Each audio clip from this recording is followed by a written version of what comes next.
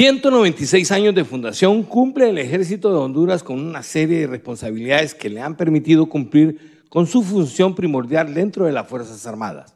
Nos sentimos profundamente complacidos del deber cumplido, contribuyendo al clima de paz y tranquilidad que hoy vivimos. Cuatro años después de que se alcanzara la independencia en Centroamérica, se constituye esta institución armada que a lo largo de su historia ha desempeñado un papel fundamental en la vida del país. Desde 1825, la visión de nuestro prócer, de nuestro héroe, el general Francisco Morazán Quesada, que fue el primer gestor ante el presidente Onicio Herrera para formar una fuerza que diera y representara al país, que defendiera los más sagrados intereses de la patria.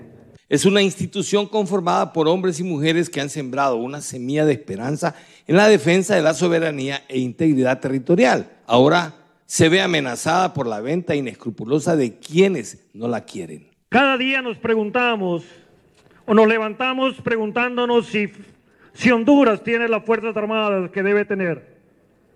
Esa es, la, inspiración que sentimos los servidores del Estado de Honduras, que tenemos compromisos con Honduras, que tenemos compromiso con nuestro pueblo.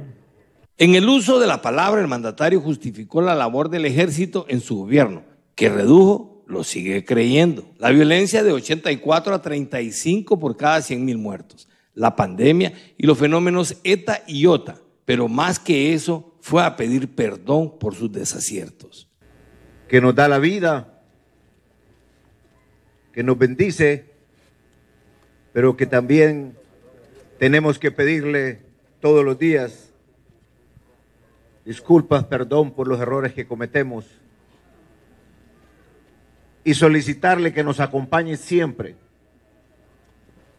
en los emprendimientos, en nuestras aspiraciones fue una ceremonia sencilla que sirvió para el ascenso al grado inmediato superior de 546 oficiales, personal de tropa y auxiliares, además de otorgar casi mil medallas al mérito y brindar un homenaje póstumo a los miembros de la institución que fallecieron en el cumplimiento del deber.